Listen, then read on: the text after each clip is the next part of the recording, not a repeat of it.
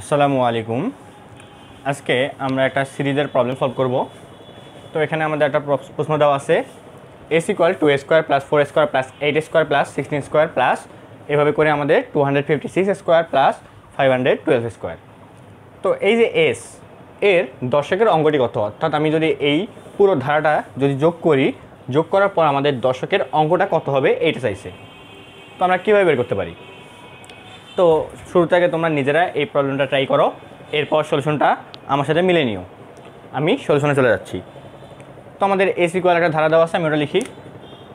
Two square plus four square plus eight square plus sixteen square plus এভাবে করে two hundred fifty six square plus five one two square তো দেখো, আমি two স্কোয়ারকে লিখতে পারি কি?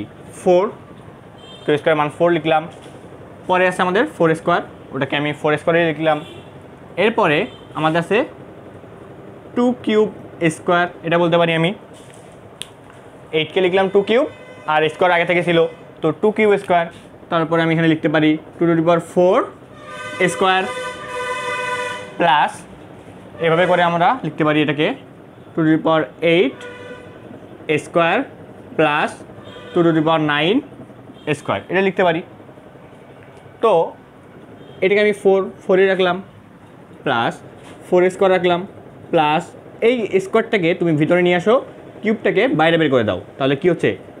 এরকম হবে two square three two power three এমন হবে কারণ আমরা জানি যদি গুণ থাকে মানে এরকম থাকে পাওয়ারের উপর পাওয়ার তাহলে আমরা গুণ করতে পারি।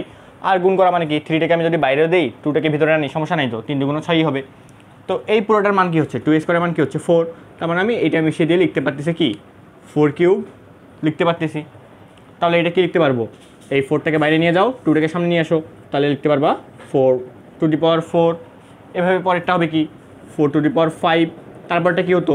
Four to the power six তারপরটা four to the power seven তারপরটা এই যে এটা four to the power eight plus four to the power nine nine পর্যন্ত হয়ে থেমে যাব, কেননা আমাদের নাইনটা বাইরে চলে গেল টুটা ভিতরে আসলো। তাহলে কী হবে? টু স্কোয়ার মানে ফোর আর নাইন হবে পাওয়ার তো তুমি ফোর রাখলা। এখন এখান থেকে তুমি দেখতে পাচ্ছ four square plus four to the three তাহলে তুমি এখানে ফোর স্কোয়ারের মান জানো বাট বাকিগুলোর তো মান জানো না। তো দেখো, তুমি যদি দুইটা করে রাশি নিয়ে কমন নাও, তাহলে আমাদের জন্য হিসাব করতে সুবিধা হবে। যেমন, তুমি যদি এখানে ফোর থেকে ফোর রাখলা ফোর স্কোয়ার কমন নাও ফোর স্কোয়ার কমন নাও। দেখো, এখানে কিন্তু আমাদের মোট কয়টা পদ আছে? এক, দুই, তিন, চার, এভাবে করে মোট নয়টা পদ আছে। তো তুমি যদি ফোরটাকে কমন নাও, তাও হবে। আবার তুমি যদি ফোর স্কোয়ারকে কমন নাও, পরের থেকে শুরু করো, তাও হবে। কিন্তু তুমি যদি ফোরটাকে কমন নাও, এটা আমি কমন নিলাম। এই দুটার থেকে আমি কমন নেব। আবার এই- দুটো থেকে কমন নেব। এই দুটো থেকে কমন নেব, এই দুটো থেকে কমন নেব। মাঝখানে পড়ে থাকবে হলো ফোর টু দি নাইন ওটার মান বের করতে ঝামেলা হয়ে যাবে। তো আমি যদি শেষ কমন নেওয়া শুরু করি, এই দুটো কমন নেব, এই দুটো কমন নেব, এই দুটো কমন নেব, এই দুটো কমন নেব। পড়ে থাকবে ফোর ফোরের মান তো ফোরই আমাদের হিসাব করতে সুবিধার জন্য আমরা ফোরটাকে ফোর রাখলাম পরটা থেকে আমি কমন নেওয়া শুরু করলাম। তো ফোর স্কোয়ার কমন নিলে কী হবে? ওয়ান প্লাস এখানে ফোর স্কোয়ার কমন নিছি, তাহলে থাকবে ফোর প্লাস এখানে কমন নাও, এই দুটার মধ্যে four to the four common নাও, তাহলে থাকবে ওয়ান প্লাস ফোর হিসাবে সুবিধার জন্য আমরা ফার্স্টটা ফার্স্ট যে পদ আছে সেটাকে আমরা রেখে দিছি। তাহলে কী হবে? এটা তো হলো কমন নেওয়া, এবার এখান থেকে common now four to the six common নিলে কী থাকবে? One plus four four plus এখানে four to the eight common now one plus four তাহলে দেখতে পাচ্ছ আমাদের হিসাবে একদম সুবিধা হয়ে যাচ্ছে। যেমন চার একে পাঁচ। তাহলে ফোর স্কোয়ার ইন্টু ফাইভ এটা কী হবে? Four to power four into five এটা হবে four to power six into five এটা হবে four to power eight into five এটা ইকুয়াল এখন ফোর এখন আমরা কমন নেব এইখান থেকে এইখান পর্যন্ত। তাহলে ফোর স্কোয়ার ফাইভ কমন নিতে পারবা। তাহলে four plus four square five যদি কমন নাও, থাকবে one plus four square five বলতে ফোর স্কোয়ার ইন্টু ফাইভ তাহলে four square into five common নিলে এখানে one plus four square into five five তো কমন গেছেই ফোর স্কোয়ার কমন নিছো, তাহলে থাকবে হলো ফোর স্কোয়ার প্লাস এখান থেকে কমন নাও সেমভাবে four to two six into five common নাও, তাহলে কী বাবা ওয়ান প্লাস এটা তো ওয়ান হয়ে যাচ্ছে প্লাস এখানে ফাইভ কমন নিছো already R four to two six common নিছো, তাহলে থাকবে কি? ফোর স্কোয়ার দেখো, আবার তুমি কমন নিতে পারতেছো এই অংশটা। তো তার আগে আমরা কাজ করে নিই। Four plus four square into five four square into five one plus আচ্ছা এটার মানটা আমি লিখে ফেলি। এটা মান তো আমরা জানি। ফোর স্কোয়ার মানে ষোলো, আর এক যোগ করলে সতেরো। ইন্টু সেভেন্টিন লিখতে পারো। Plus four to power six into five এটাও সতেরো ইন্টু সেভেন্টিন এখন তুমি এখান থেকে দেখতে পাচ্ছ four square five into five into seventeen common নেওয়া যায়। তো ওটাও কমন নাও। তাহলে ফোর তো আগে থেকে ছিল। তাহলে ফোর স্কোয়ার ফাইভ সেভেন্টিন তাহলে four square into five into seventeen কমনে লিখে থাকবে ওয়ান প্লাস এই অংশটা।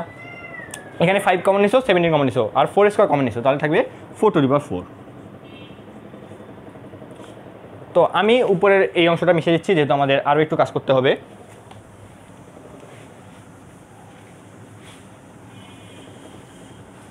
তাহলে আমাদের লাস্ট এই অংশটা থাকল, এখান থেকে আমি এবার কমন নিয়ে এইটা পাইলাম। তাহলে ফোর টু পাওয়ার ফোর মান কত? তো আমরা জানি যে ফোর স্কোয়ার করলে হচ্ছে হয় সিক্সটিন আবার ফোর স্কোয়ার করলে হয় সিক্সটিন তো আমি যদি এই দুটা গুণ করি, তাহলে কি পাবো? ফোর টু পাওয়ার ফোর তাহলে সিক্সটিন ইন্টু সিক্সটিন হবে। আর সিক্সটিন ইন্টু সিক্সটিন করলে মানটা কত আসে? এটা আসে হলো two five seven sorry two five six two five six তাহলে সিক্সটিন স্কোয়ার করলে টু ফাইভ সিক্স আমরা পাই। এখন, তার সাথে এক যোগ আছে। তাহলে কী হবে? তাহলে আমরা পাচ্ছি হলো ফোর প্লাস তো এটা হয় চার চারে ষোলো। ষোলো আর পাঁচ যদি গুণ করো পাবা আশি। আশি ইন্টু সেভেন্টিন ইন্টু কী হবে? টু ফাইভ সেভেন তো এই লাইনটা যদি আমি ভাঙি ফোর প্লাস এইট এটাকে ভাঙি আমি যদি এইট ইন্টু টেন লিখি eight into ten into seventeen into two five seven তো এখন একটা জিনিস লক্ষ্য করো, আমাদের যদি প্রশ্নে বলতো এককের অঙ্কটি কত, তাহলে কিন্তু আমি ইজিলি এখনই অ্যান্সারটা বলে দিতে পারব। কীভাবে? কেননা আমাদের এই টেনটাকে আমি আচ্ছা এই টেনটাকে আমি সাইডে লিখি into ten eight into seventeen into two hundred fifty seven into ten এখন দেখো, এখন যদি আমাদের বলতো যে এককের অঙ্কটি কত, তাহলে কিন্তু আমি ইজিলি অ্যান্সারটা বলতে পারব। তো এইটা গুণ করে সাপোজ তুমি একটা, কোনো একটা মান পাবা এক্স কোনো একটা মান পাবা। তো এর সাথে এখন যদি তুমি দশ গুণ করো, তাহলে কি এক্সের পর একটা শূন্য চলে আসবে? এক্সের মান যাই হয় হোক, এখানে কি হয় হোক, কিন্তু যদি আমি তার সাথে দশ গুণ করি, তাহলে একটা জিরো তো লাস্টে পাবো। যেমন পাঁচের সাথে তুমি যদি দশ গুণ করো, কী লেখো? ফাইভটাকেই লেখো। ফাইভ আর জিরো একটা দিয়ে দাও। একইভাবে আমি এখানে গুণ করে গুণফল একটা পাবো এক্স এখন তার সাথে দশ গুণ করলে তো আমি এক্সের পর একটা জিরো পাবো। এখন ফোর কি আছে? প্লাস হিসেবে আছে। তো আমি যদি এখানে ফোর প্লাস করে দেই, তাহলে আমি এখানে ফোর পাবো। জিরো আর ফোর যোগ করলে ফোর পাবো।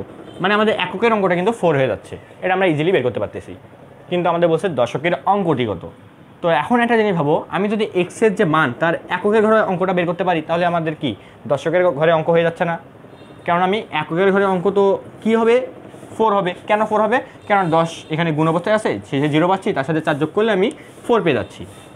তো আমাদের চাইছে তো দশকের ঘরের অঙ্ক।